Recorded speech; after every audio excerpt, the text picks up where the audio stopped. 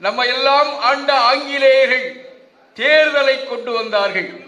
அந்த தேர்தலிலே நீதி கட்சி போட்டியிட்டது. நீதி கட்சி அல்ல தென்னிந்திய நல உரிமை சங்கம் அதற்கு பெயர்.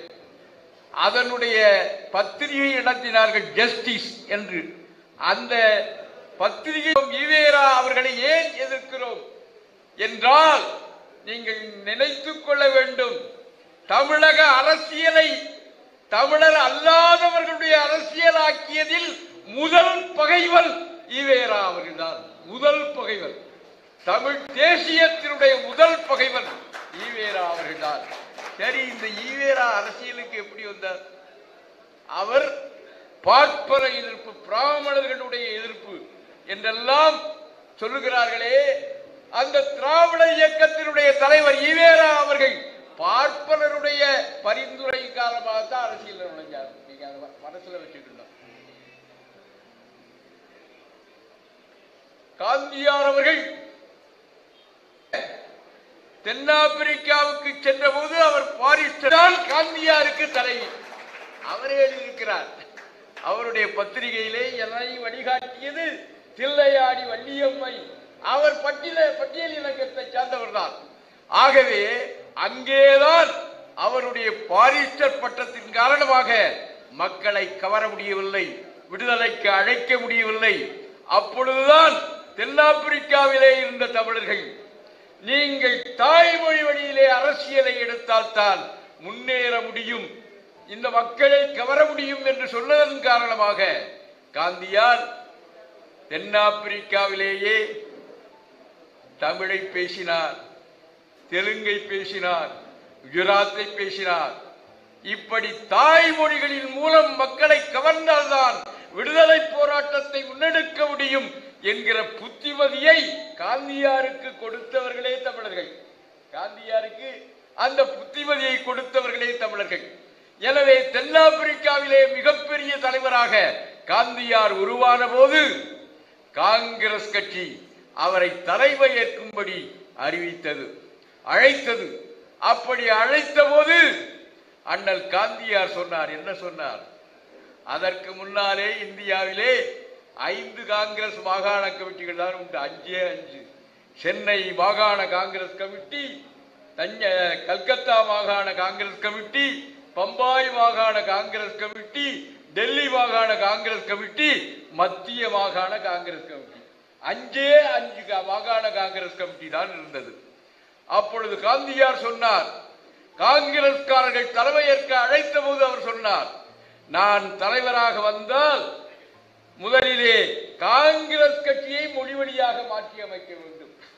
காங்கிரஸ் கட்சியை எங்கே பிறந்தது மொழிவழி தேசியம் எங்கே பிறந்தது தமிழ் தேசியம் தென்னாப்பிரிக்காவிலே பிறந்தது ஐயா.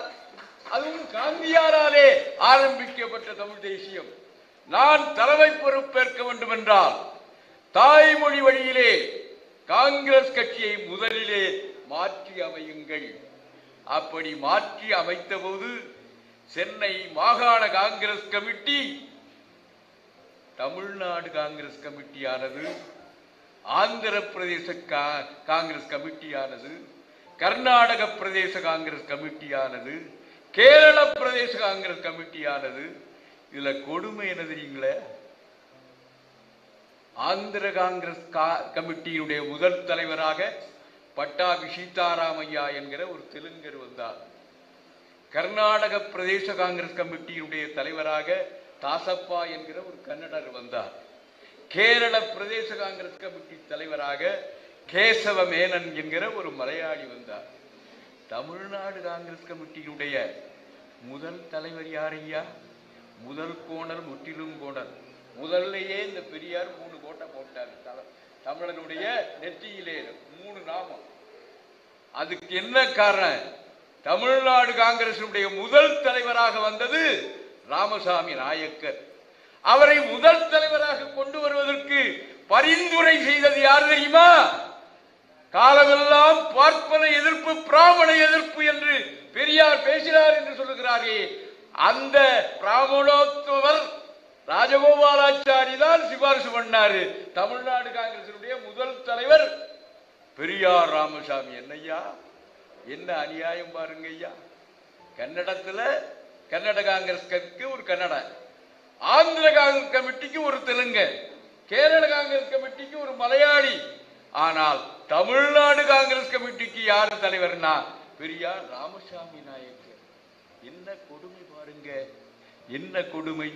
இதுல கொடுமை என்னவென்றால் அந்த தமிழ்நாடு காங்கிரஸ் கமிட்டியினுடைய தலைவராக ராமசாமி நாயக்கர் வந்தவுடனேயே அன்றைக்கு கேரளா இல்லை.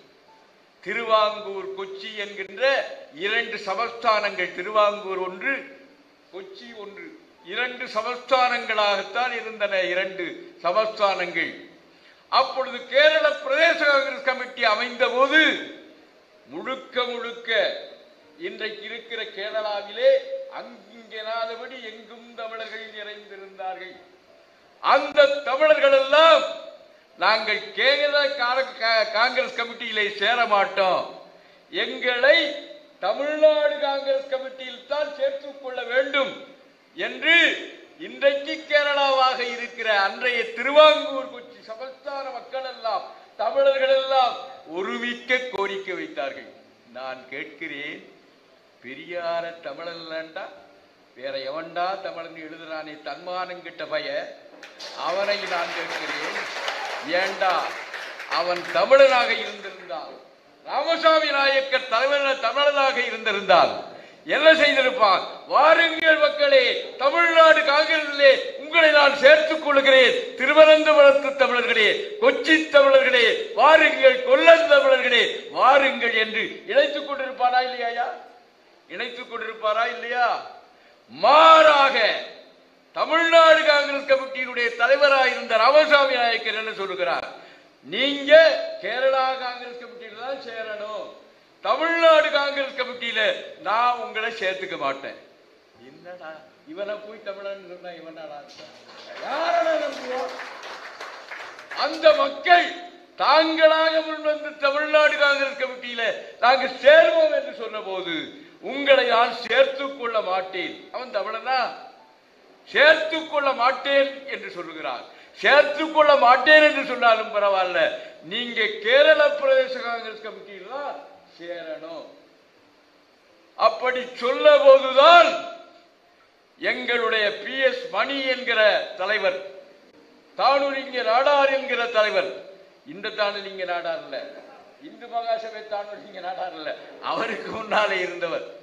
அவர்களெல்லாம் ஒன்று கூடி நீ என்னடா சொல்றது?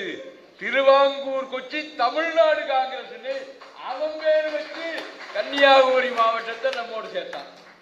இந்த பய ஒரு துரும்ப கூட அசைக்கவில்லை. அதோடு மட்டுமல்ல அருமை நண்பர்களே ஒன்றை நீங்கள் நினைவு கொள்ள வேண்டும். ராமசாமி நாயக்கர் இல்லை என்றால் இன்றைக்கு கேரளா ஒன்றுபட்ட கேரளா உருவாயிருக்காரு. தெரியுமா உங்களுக்கு?